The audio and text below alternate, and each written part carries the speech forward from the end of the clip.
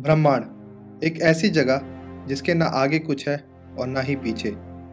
ब्रह्मांड अनंत है और आज तक कोई भी इस बात का जवाब नहीं दे पाया है कि ब्रह्मांड कितना बड़ा और विस्तृत है और इसमें कितने ग्रह और उपग्रह हैं। इन्हीं लाखों करोड़ों ग्रहों में से हमारी पृथ्वी भी एक ग्रह है और काफ़ी समय तक ऐसा माना जाता था कि केवल पृथ्वी ही एक ऐसा ग्रह है जहाँ जीवन संभव है।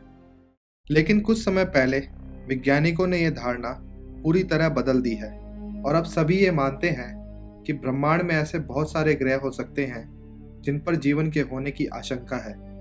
हाल ही में ऐसे सात नए ग्रह भी ढूंढे गए हैं, जिनका इकोसिस्टम पृथ्वी के इकोसिस्टम से मेल खाता है।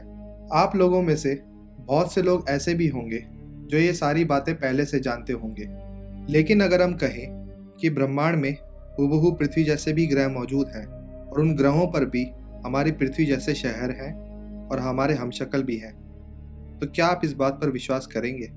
इस अवधारणा को विज्ञान की भाषा में पैरेलल यूनिवर्स पैराडॉक्स, यानी समानांतर ब्रह्मांड भी कहा जाता है। इस पैराडॉक्स के अनुसार, ब्रह्मांड में कुछ ग्रह ऐसे भी हैं जो पृथ्वी की कार्बन कॉपी हैं।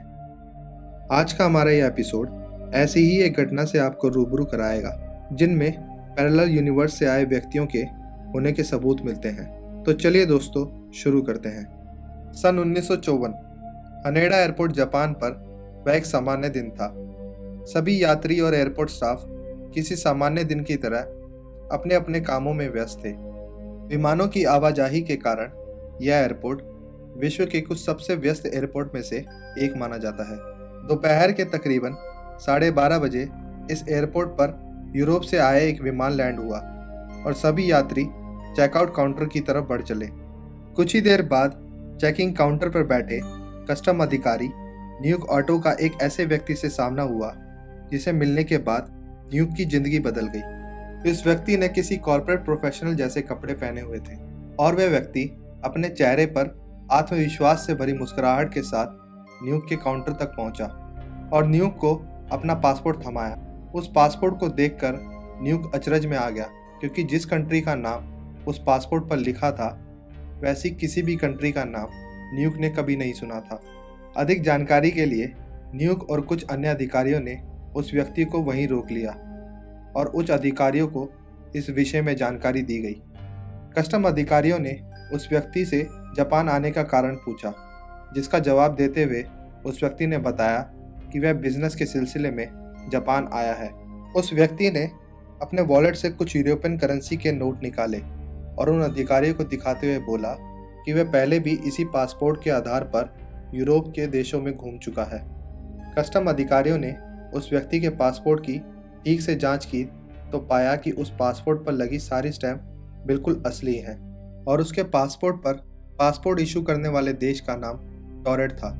अधिकारियों ने इस व्यक्ति से पूछा कि यह टॉरेट नाम की कंट्री कौन से कॉन्टिनेंट का हिस्सा है? तो इस व्यक्ति ने जवाब दिया कि टॉरेट फ्रांस और स्पेन के बीच में कहीं स्थित है। यह सुनकर वहाँ मौजूद सभी कस्टम और एयरपोर्ट अधिकारी हैरान रह गए, क्योंकि किसी ने भी इससे पहले ऐसे किसी देश का नाम नहीं सुना था। एक ऐसा देश जो हमारी पृथ्वी पर है ही नहीं। सभी को इस बात का अंदेशा होने लगा कि इस पूरे मसले को वह लोग जितना सामान्य समझ रहे थे, वह दरअसल उससे कहीं ज़्यादा पेचीदा मामला था।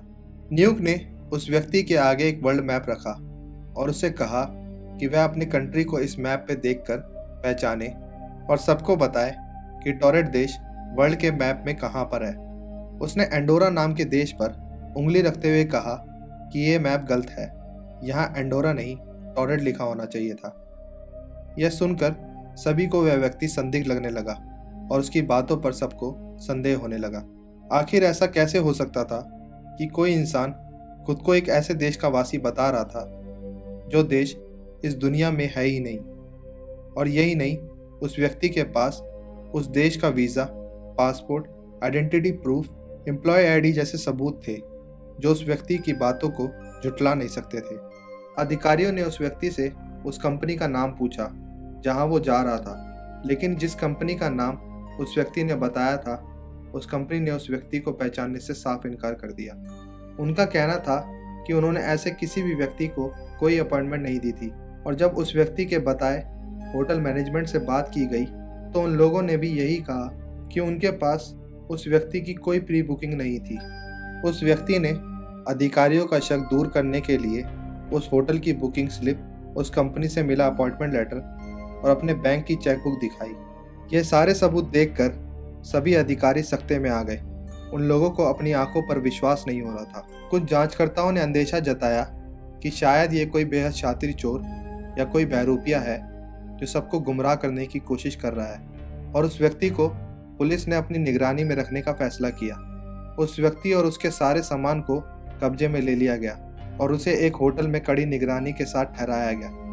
लेकिन अगली सुबह सभी लोगों के होश उड़ गए, क्योंकि उस व्यक्ति के रूम में कोई नहीं था, जबकि उसके कमरे के बाहर दो सिपाही भी तैनात थे, और उनके कमरे की खिड़कियों को पहले से ही सील कर दिया गया था। और तो और एयरपोर्ट पर जब्त किए गए सारे डॉक्यूमेंट्स जैसे ड्राइविंग लाइसेंस और पासपोर्ट एयरपोर्ट से गायब हो गए थे। उस व्यक्ति के पासपोर्ट पर लगी स्टैंप के आधार पर, उन सभी कंट्रीज़ से उस व्यक्ति के बारे में जानकारी हासिल करने की कोशिश की गई। लेकिन आज तक कोई भी उस व्यक्ति का अता पता नहीं लगा पाया है। बहुत से लोगों का मानना है कि वह एक दूसरे आयाम से आया व्यक्ति था और गलती से हमारी दुनिया में आ गया था। बहुत से वैज्ञानिकों और एक्सपर्ट्स का मानना है कि पैरल यूनिवर्स एक कल्पना मात्र नहीं है। यदि हम ब्लैक होल या फिर चौथे आयाम में सफ़र करने का कोई तरीका ईजाद कर ले तो हम भी पैरल यूनिवर्स में जा सकते हैं। इतिहास में पैरल यूनिवर्स से आए व्यक्तियों की कई घटनाएँ मौजूद हैं, जो ये विश्वास दिलाती हैं कि वाकई ऐसा हो सकता है।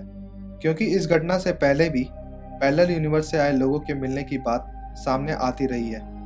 सन अठारह में एक अज्ञात व्यक्ति जर्मनी के फ्रैंकफर्ट एंडर ओडर नाम की जगह पर पाया गया था। उस व्यक्ति का कहना था कि वो लग्जारिया नाम की जगह से आया है और यहाँ भटक गया है, लेकिन लग्जारिया नाम की कोई भी जगह हमारी धरती पर नहीं है।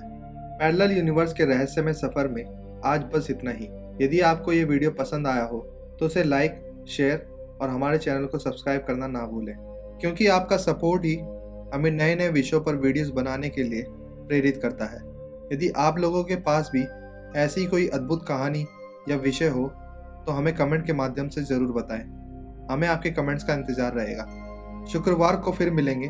तब तक के लिए नमस्कार।